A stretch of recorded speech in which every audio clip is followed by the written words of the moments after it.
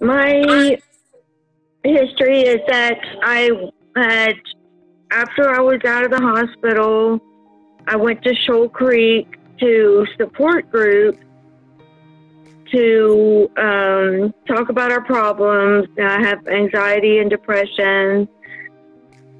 I wasn't working at the time and was really struggling. And I heard about the clubhouse through one of the members of the support group.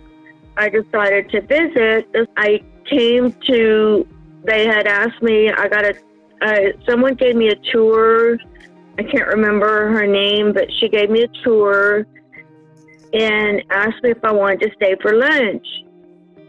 So I really enjoyed lunch and then started coming more often, helping with lunch and um, hanging out.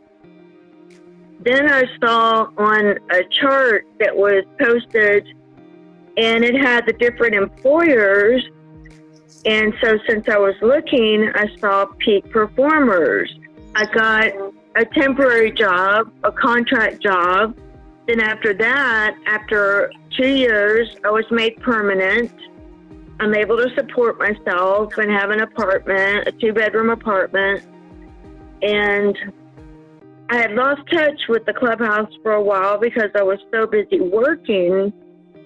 And then when May called this last spring, I was glad to get back involved because I only had frequent or infrequently dropped by just to visit.